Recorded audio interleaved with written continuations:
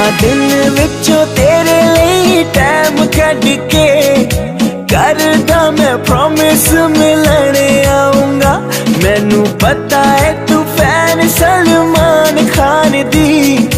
ਉਹਦੇ ਗਾਣੇ ਗਾ ਕੇ ਤੈਨੂੰ ਮੈਂ ਸੁਣਾ